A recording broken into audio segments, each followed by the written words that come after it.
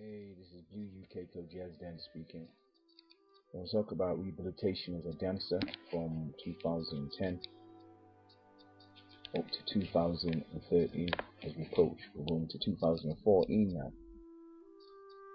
I had um, blood infection from 2010 to 2012, which is raging in my body still now. It was compounded by getting CO poison from he died in a house fire. Both of them were life-threatening illnesses. I had to rehabilitation, a rehabilitation program for both of these, where it takes a lot of energy to be involved in a rehabilitation program. Part of my work, I decided a long time ago, was to give people insight into being a dancer, street dancer, and a professional dancer on the stage. They're two different things. A club dancer also. So three things is club dancer, street dancer, and on the stage. I'm a self-taught dancer who engaged street dance. Both club dance and street dance led to stage dancing because it led to explore wider dance forms. I want to give people an insight into career employabilities and the type of incidents you can involve yourself in. I was involved in a very negative incident that affected my rehabilitation from May of 2013 to now as we approached beginning of December of 2013 as we go into 2014. And my work is what I want to share with individuals. Um, my techniques, tips and strategies, the importance of having support. Join rehabilitation, having a program that set out a wellness program that is social, physical, intellectual, cultural, emotional, yeah, and spiritual. Let me repeat that again. You have a program that's social, it's physical, it's intellectual, it's cultural, it's emotional, and spiritual. This is very important. You're going to find that you need all these integrated programs all placed into a program for yourself because you're going to need them all. You need to have a positive mental attitude training program. You need to make sure you're in an environment of people that love you because you'll find that during your rehabilitation program, you haven't got the same strength as before you haven't got the same resilience, you haven't got the same coping skills. So it's important that you develop one, what I call emotional intelligence in your meditation. You're very self aware, you're very self knowledgeable, you're empathetic to your situation, and you make sure you're transparent. What I did through my illness, I made myself transparent to individuals. This is where I'm at. So they know where I'm coming from. So they know, boom, right now I'm a person with disabilities the same expectations I have of you. Don't be discriminating against me. Don't be putting me down. Right now, I haven't got the strength to be dealing with some of the negatives in the way that I would do before. What I'm going to do through this program is probably I'll probably have a rehabilitation program, a number of talks from 1 to 7. So one of them will be the dream. At university, or shall I say, I went back to university in 2005 at the age of 40 with a dream to raise UK club jazz dance in many different ways. One from a musical theatre perspective, boom, boom, boom, up to dance theatre perspective. The piece I'm going to put up now is a piece, um, a tribute to John Bubbles. And I saw UK club jazz dancing for me to be a focus to show individuals. We did a lot of research. There's a lot of research, and this John Bubbles piece is one of them. So let me put that up first, and that shows the dream. In 2009, I had a dream. I created a lab, a dance lab, in Oxford, where I was studying Oxford Brookes University from 2005 to 2009. I've always had a dance lab. People don't understand. Dancers always have labs. We didn't call it a lab but we've always had labs. Street dancers always have that. Club dancers in Manchester had had the labs because we never danced in the street originally. We're very different from US. till I did street dancing, hip hop. Really, we danced in a home. So we had a lab. So in Oxford Brookes, I was a, a warden, and outside my warden flat, I used to practice. Used to get a camera and practice ideas that I was working on. And then in my home, I would use it as a lab also, and you'll see some footage. So let me start with the dream, what I wanted to bring to the stage, which is John Bubbles, a tribute to John Bubbles, yeah? Which gives you insight of some of the developments I saw for UK Club Jazz Dancing, which would be on stage level. Blu UK Club Jazz Dancing. Música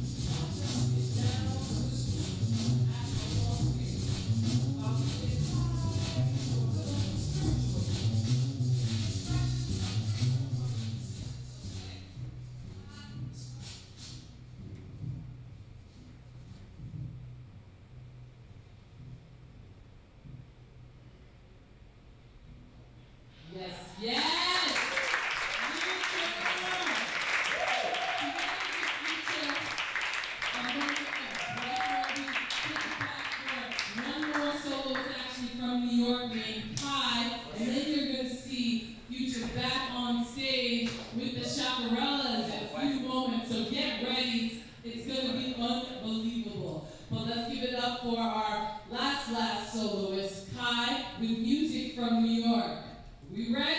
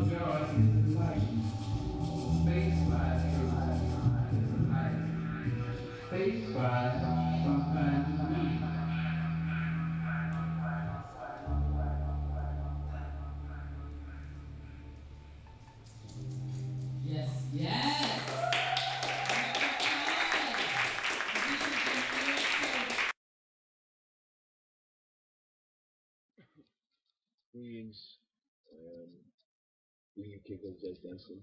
Uh, part one of the meditation. We got some information. Um, information I showed you was look, it shows the John Bubbles, it shows you being involved in the first mixed movement event ever in the UK and the US these movements, when you're in meditation, it's important that you have a focus and a dream to come back professionally I had an illness. Still need to have a focus.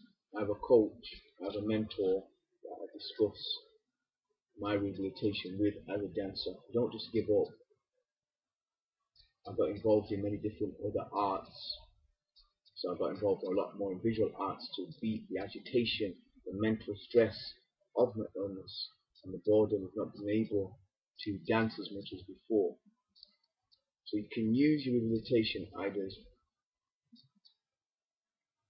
an important step, so I call my step rehabilitation process I call rebirth of the core. To rebirth, revive all things, but also to bring a new beginning to yourself as a dancer. So I've widened my scope as a dancer come with a new generation type of dancer, bringing technology, exploring technology in a wider way. I've always been involved in technology, but using creativity as a way to heal. I had to do a lot of research into dance and healing, dancing to keep oneself positive 24-7, dancing and looking at the wider skills. So if I can't walk, in the future or can't dance, what other way can I use my dance skills? And we call that transferable skills. So this is rehabilitation one. Um, it gives you a focus of I had a dream before at university. Um, I use the John Bubbles to set out a parameter for my future, but also as a tool, a vehicle to keep me positive. This was me before. You can re-establish where you were before and develop it. And if not, I can develop it into an educational program. And then I went on, I still continued to involve myself with creativity in Manchester. Well, I looked at certain key areas. Mixed movement came in 2010 to Manchester, and I've been probably, I am probably the most used dancer in Manchester in mixed movement because I committed myself to it. Um, a lot of it was voluntary. I got paid for doing digital duets, etc. A lot of the work I involved in the early stages with voluntary and network with John Candle showed my enthusiasm as a dancer. It's not about money. I like what you're doing. I can feed into it.